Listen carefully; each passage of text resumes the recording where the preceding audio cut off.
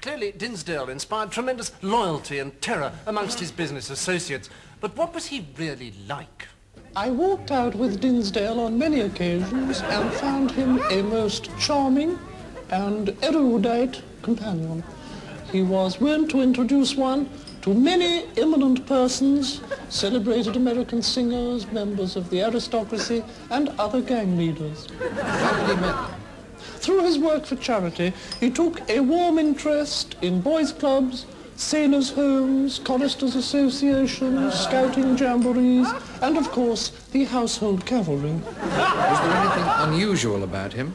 I should say not.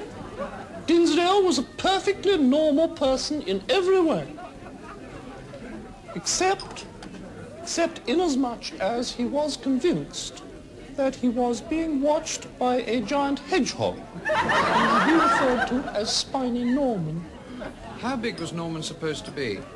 Normally he was wont to be about 12 feet from snout to tail, but when Dinsdale was very depressed, Norman could be anything up to 800 yards long. When Norman was about, Dinsdale would go very quiet, and his nose would swell up, and his teeth would start moving about, and he'd become very violent and claim that he'd laid Stanley Baldwin. Dinsdale was oh, a gentleman. What's more, he knew how to treat a female impersonator. It's easy for us to judge Dinsdale Piranha too harshly. After all, he only did what most of, us, most of us simply dream of doing.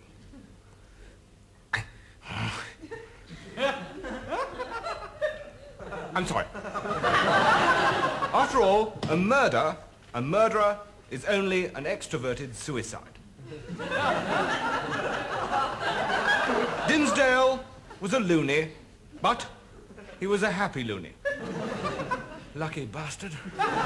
Most of these strange tales concern Dinsdale, but what of Doug? One man who met him was Luigi Vercotti. Well, I've been running a successful escort agency. High class. No, really, high class girls. We didn't have any of that. That was right out. And I decided... Oh, excuse me. Hello? Uh, no, not now. Stum, stum. right. Yes, we'll have the watch ready for you at midnight. the watch. The Chinese watch. yes. Hello. Bye-bye. Mother. anyway, I decided then to open a high-class nightclub for the gentry at Biggleswade with international cuisine, cooking, top-line acts, and not a cheap clip joint for picking up tarts. That was right out. I deny that completely. And uh, one night, Dinsdale walked in with a couple of big lads, one of whom was carrying a tactical nuclear missile. They said I bought one of their fruit machines and would I pay for it?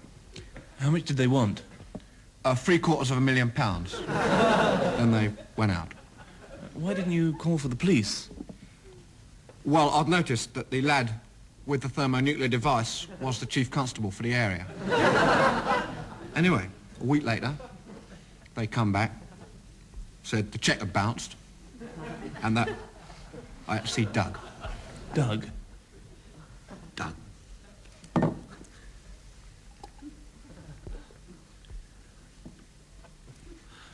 I was terrified of him. Everyone was terrified of Doug. I've seen grown men pull their own heads off rather than see Doug. Even Dinsdale was frightened of Doug. What did he do?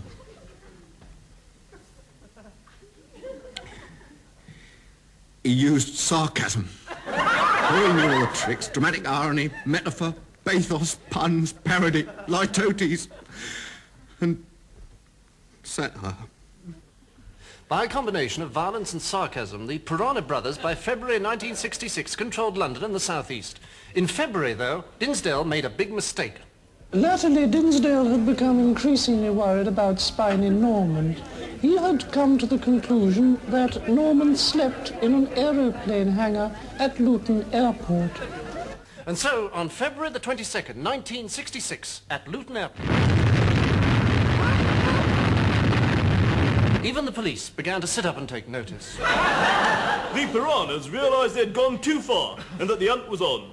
They went into hiding and I decided on a subtle approach, viz. some form of disguise, as the old helmet and boots were a bit of a giveaway. Luckily, my years with Bristol Rep stood me in good stead, as I assumed a bewildering variety of disguises. I tracked them to Cardiff, posing as the Reverend Smiler Egret. Hearing they'd gone back to London, I assumed the identity of a pork butcher, Brian Stokes. On my arrival in London, I discovered they had returned to Cardiff. I followed as Gloucester from King Lear. Acting on a hunch, I spent several months in Buenos Aires as Blind Pew, returning through the Panama Canal as Ratty in Toad of Toad Hall. Back in Cardiff, I relived my triumph as Sancho Panza in Men of La Mancha, which the Bristol Evening Post described as a glittering performance of rare perception, although the Bath Chronicle was less than enthusiastic. In fact, it gave me a right panning. I quote, As for the performance of Superintendent Harris Snapper Organs as Sancho Panza, the audience were bemused by his high-pitched Welsh accent and intimidated by his abusive ad-libs. The Western Daily News said... Sancho Panza, Mr. Organs, spoilt an otherwise impeccably choreographed rape scene by his unscheduled appearance and persistent cries of, what's all this for?